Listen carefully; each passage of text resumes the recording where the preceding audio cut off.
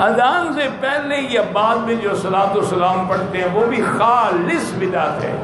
अगर सुन्नत होती तो सबसे पहले हज़रत बिलाल पढ़ते।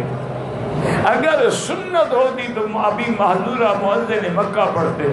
अगर सुन्नत होती तो अब्दुल्ला इब्न मखतूम मुअज्जिन मदीना पढ़ते।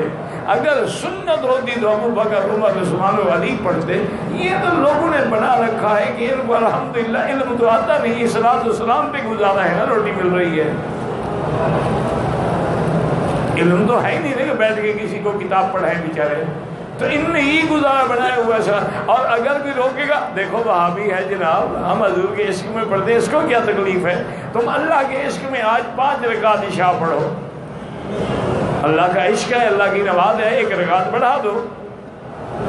ये क्या बात है? सुन्नत वो है जिस तरीके में मेरा बदरी मोहम्मद मुस्तफ़ा चले।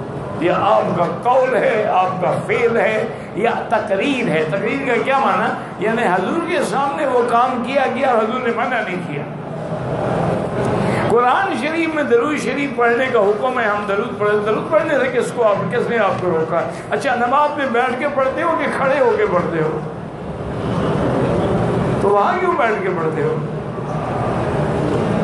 जब दरूद का वक्त है, वहाँ भी खड़े हो जाओ, देखो नमाज़ होती है तुम्हारी।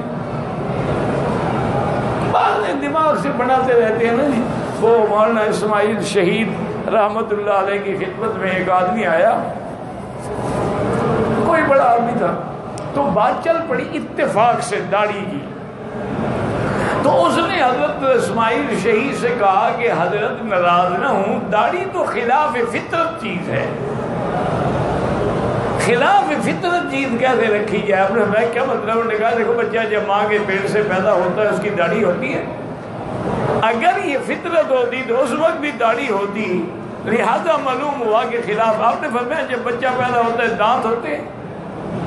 नहीं, हमने अपने दांत भी तोड़ दिया। करो खिलाफ फितरत क्यों रखे हुए हैं मेरा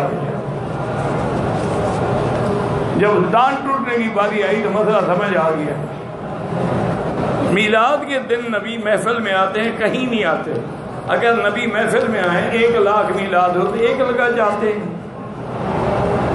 और हर जगह जब जाते हैं तो मदीने में जो इस्लाम पढ़ रहे हैं, वो तो बेचारे रुल गए ना। क्योंकि हजूर को तो आपने मीलाद में बुला लिया। खुदा का खौफ करो, न अपने ईमान पर बात करो, न लोगों के अकीदे पर बात करो। इसीलिए हदीस में है कि लोग आ रहे होंगे मेरे हौज कौशल की तरफ़ और फरिश्ते धक्के देंगे। मैं क्यों आने रोकेंगे इन अल्लाह तदरी बाद गया आपको पता नहीं, आपके बाद ने दीन में कैसे तब्दीलियाँ की हैं? मेरा ताल्लुक एक इस्लामी मुल्क से, जिसके हुक्मरान मुसलमान हैं। और यहूदी मुल्क का दोस्ती भी है, यहूदी मुसलमानों का खुला दुश्मन है। ऐसी सूरत में हमें अपने हुक्मरानों की बात माननी होगी, बिल्कुल माननी होगी।